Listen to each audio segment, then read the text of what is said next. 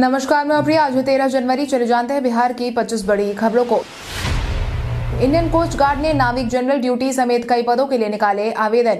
Indian coast guard ने नाविक general duty, नाविक डोमेस्टिक ब्रांच डीबी यांत्रिक के लिए कुल मिलाकर तीन पदों के लिए आवेदन आमंत्रित किए हैं। इन पदों के लिए शैक्षणिक योग्यता की बात करें तो टेन प्लस टू फिजिक्स या गणित के साथ या टेंथ पास या टेंथ पास और इंजीनियरिंग में डिप्लोमा आदि की योग्यता रखने वाले उम्मीदवार इन पदों के लिए आवेदन कर सकते हैं। इच्छुक और योग्य उम्मीदवार www.joinindiancoastguard.gov.in पर जाकर 21 जनवरी से पहले पहले आवेदन भर सकते हैं।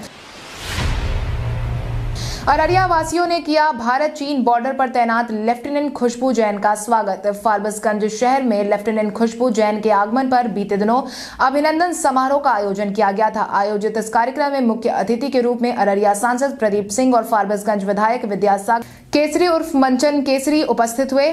कार्यक्रम में लेफ्टिनेंट खुशबू जैन को सांसद विधायक सहित विभिन्न संस्थाओं द्वारा भव्य स्वागत किया गया। हालाँकि शुरू में खुशबू के परिवार वालों ने उन्हें सरकारी नौकरी करने की बात से मना कर दिया था, लेकिन उन्होंने अपनी जिद पर यह मुकाम हासिल किया। आपको बता दें, खुशबू जैन लेफ्टिनेंट बनकर भारत चीन बॉर्डर पर देश की सेवा कर रही हैं।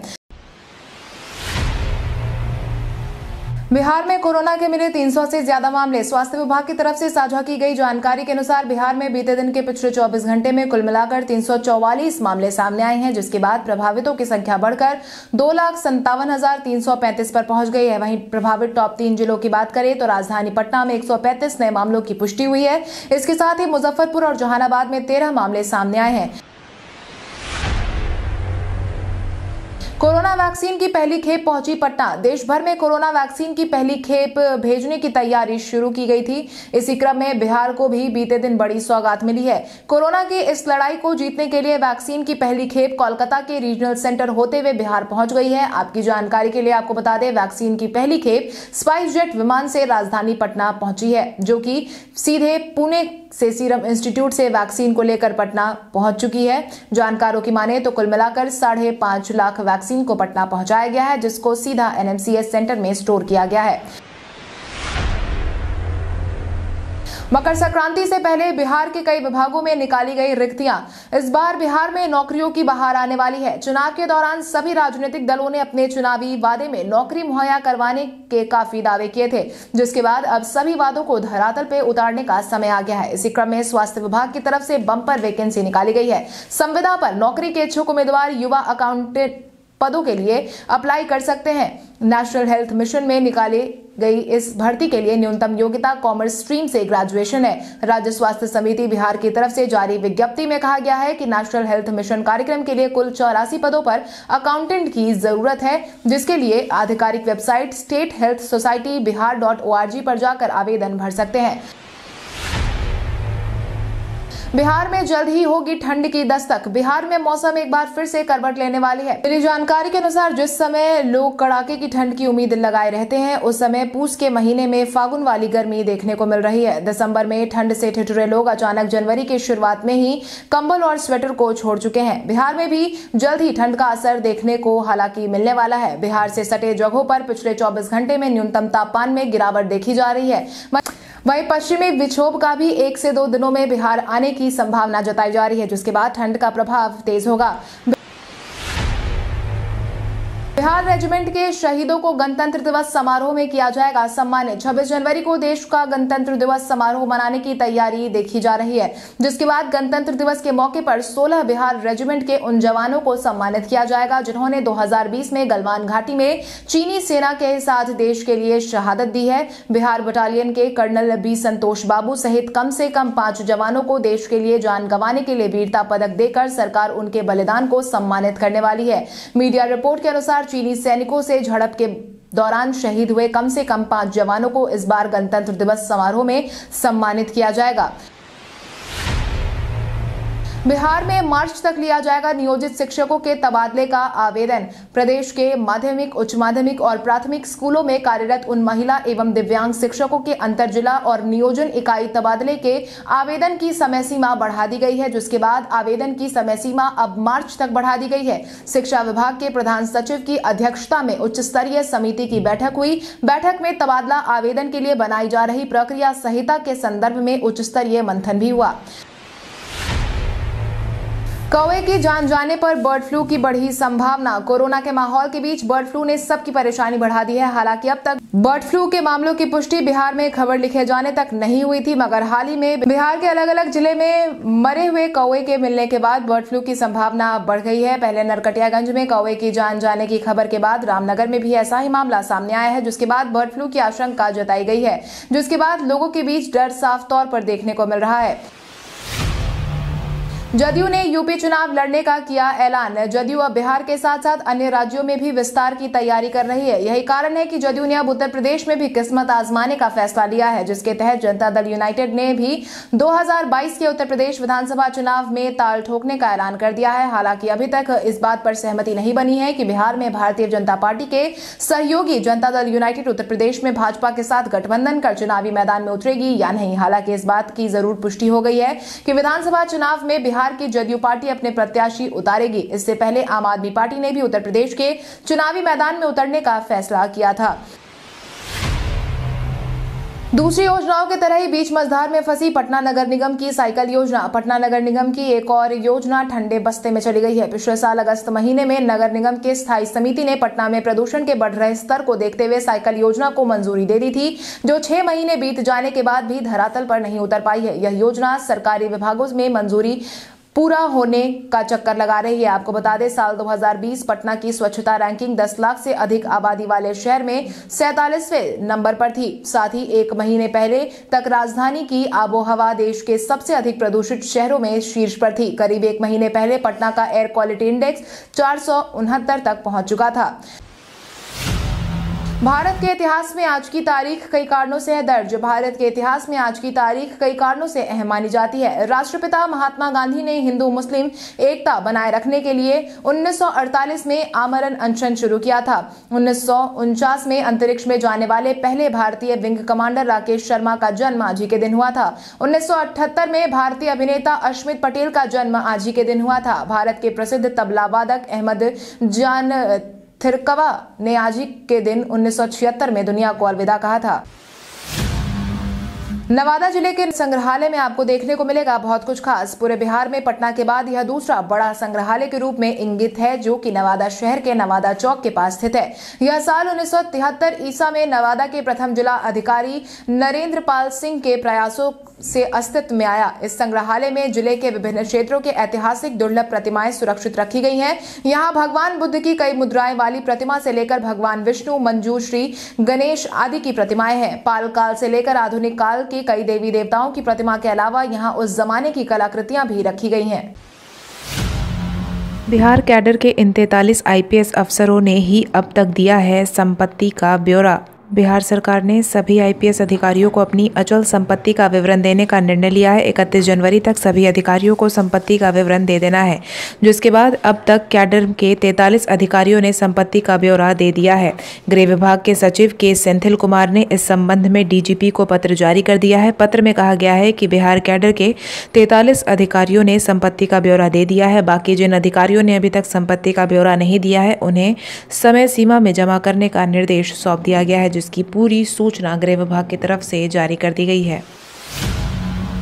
बिहार पुलिस को स्पेशल ट्रेनिंग देंगे सेना और सीबीआई के रिटायर्ड अधिकारी। बिहार पुलिस को अब स्पेशल ट्रेनिंग मिलने वाली है। बिहार पुलिस के अफसर सहायक निरीक्षक से लेकर इंस्पेक्टर रैंक तक के पदाधिकारी को नई तकनीक और नए कानून से जुड़ा प्रशिक्षण दिया जाएगा। इसके लिए सीबीआई के रिटायर्ड अधिकारी, पुलिस एकेडमी के अनुभवी पदाधिकारी, पारामिलिट्री फोर्स और सेना के रिटायर्ड कर्मचारियों की मदद लेने की योजना के साथ काम कर रहे हैं। इसी महीने महिला सुरक्षा और भूमि विवाद के मामलों को लेकर भी विशेष ट्रेनिंग दी जाएगी। अट्ठाईस जनवरी को एएन इंस्टीट्यूट में भूमि विवाद का प्रशिक्षण शुरू होने वाला है। कांग्रेस पार्टी कार्यालय में हुए हाथापाई पर भक्त चरण दास ने दिया बयान। कांग्रेस के बिहार प्रभारी भक्त चरण दास इन दिनों पटना दौरे पर है, जहाँ वो जमीनी स्तर पर पार्टी को मज़बूत करने की जुगत में जुट गए हैं। इसी क्रम में वो लगातार बैठक का संबोधन भी कर रहे हैं। इसी क्रम में कुछ दिनों पहले आयोजित बैठक में जमकर हंगामे की खबर भी सामने आई थी, जिसके बाद अब खुद भक्त चरण दास ने भी अपना बयान जारी किया है, जिसके तहत उन्होंने कहा है कि बिहार में दो तीन दशक से अलग तरह की राजनीति देखने को मिल रही है। हमारी पार्टी बिहार में निश्चित तौर पर कमज़ोर परिस्थिति में है, उसे अब बेहतर बनाना है। इस कमज़ोरी को दूर करना चाहते हैं। पार्टी में कुछ लोगों में रोष है। जगदानंद सिंह के बयान के बाद भाजपा महिला कार्यकर्ताओं ने भेजी चूड़ी। राजद के प्रदेश अध्यक्ष जगदानंद सिंह का बयान उनके खिलाफ ही भारी पड़ता नज़र आ रहा है। दरअसल राजद के प्रदेश अध्यक्ष जगदानंद सिंह ने भाजपा के बिहार प्रभारी भूपेंद्र यादव और जदयू सांसद ललन सिंह को लेकर कहा था कि वो इन लोगों के बयान पर ध्यान नहीं देते हैं। उन्होंने कहा था कि आप ही बता दो, हर भौंकने वालों को जवाब देना ज़रूरी है क्या? जिसके बाद ही महिला भाजपा कार्यकर्ताओं का रोष देखने को मिल रहा है। बीते दिन महिला कार्यकर्ताओं ने प्रतिक्रिया ज़ाहिर करते हुए उनके फ़ोटो पर बिंदी चिपकाकर और चूड़ी भेंट करके विरोध प्रदर्शन किया है। महिला कार्यकर्ताओं ने उनके इस बयान को अमर्यादित बताया है। बिहार में डीएनए जाँच की बढ़ेगी रफ्तार। बिहार में डीएनए जाँच की रफ्तार बढ़ने वाली है। फॉरेंसिक साइंस लैबोरेटरी में डीएनए जाँच की दूसरी यूनिट लगाने की तैयारी शुरू कर दी गई है। अपराध अनुसंधान विभाग ने राज्य सरकार को डीएनए जाँच की नई यूनिट लगाने का प्रस्ताव भेज दिया है, जिसके बाद इस बात की उम्मीद जताई जा रही है कि जल्द ही इसकी मंजूरी मिल सकती है। बिहार में डीएनए जाँच के लिए साल दो हज़ार बारह में पटना स्थित एफएसएल में एक मशीन लगाई गई है और वैज्ञानिकों को बहाल किया गया है। इसके अगले साल, यानी कि 2013 में जाँच शुरू हुई है। हर मशीन की क्षमता तय रहती है। बिहार के इन 20 जिलों के 40 विधानसभा क्षेत्रों में होगा एंड लाइन सर्वे। बिहार विधानसभा चुनाव का समापन हो गया है। हालाँकि परिणाम आने के बाद आयोग की तरफ़ से अब राज्य के 20 जिलों में कैप, यानी कि नॉलेज, एटीट्यूड और प्रैक्टिस सर्वे का निर्णय लिया गया है। निर्वाचन विभाग के संयुक्त मुख्य निर्वाचन पदाधिकारी मिथिलेश कुमार साहू ने इस संबंध में आदेश जारी कर दिया है। सभी जिला निर्वाचन अधिकारियों को सर्वे टीम का सहयोग करने और उन्हें ज़रूरी संसाधन उपलब्ध कराने का निर्देश भी उन्होंने दिया है। उन्होंने कहा है कि इस सर्वे के तहत विधानसभा चुनाव में मतदाताओं, नॉलेज, एटीट्यूड और प्रैक्टिस, यानी जानकारी दृष्टिकोण और आदत की जानकारी ली जाएगी। राष्ट्रपति और प्रधानमंत्री मोदी को भेजा जाएगा भागलपुर का कतरनी चूड़ा। मकर संक्रांति आने के मकर संक्रांति आने में बस कुछ ही समय बचे हैं। हालाँकि अब मकर संक्रांति को लेकर बाजारों में भी रौनक देखने को मिल रही है। वहीं मकर संक्रांति के शुभ अवसर पर इस बार भागलपुर के कतरनी चूड़े की चर्चा काफ़ी सुनने को मिली है, जो कि अब और ज़्यादा खास होने वाली है, क्योंकि अब भागलपुर के कतरनी चूड़े को राष्ट्रपति और प्रधानमंत्री मोदी को भेजे जाने की तैयारी की जा रही है। इसको लेकर दो सौ पैकेट तैयार करने का काम किया जा रहा है। आपकी जानकारी के लिए आपको बता दें, जिन कुछ खास विशिष्टताओं के कारण भागलपुर या अंग प्रदेश की पहचान देश विदेश में है उसमें कतरनी चावल और चूड़ा खास है। नौ साल के बाद बिहार के इस इलाके में दिखी ट्रेन। लगभग नौ साल के लंबे इंतज़ार के बाद सुपौल वासियों को ट्रेन की सौगात मिली है। ज़िले के प्रतापगंज से देश के भिन्न भिन्न हिस्सों में रेल मार्ग से सफ़र करने की हसरत लिए बैठे लोगों में सोमवार की दोपहर ट्रायल इंजन के पहुँचते ही खुशी की लहर देखने को मिली। नौ साल पहले 2012 के बाद प्रतापगंज रेलवे स्टेशन पर बड़ी रेल लाइन का पहला ट्रायल इंजन पहुँचा। यह देखकर वहाँ मौजूदा लोगों ने कहा कि लगभग दशक भर बाद ट्रेनों के चलने की आस जागी है।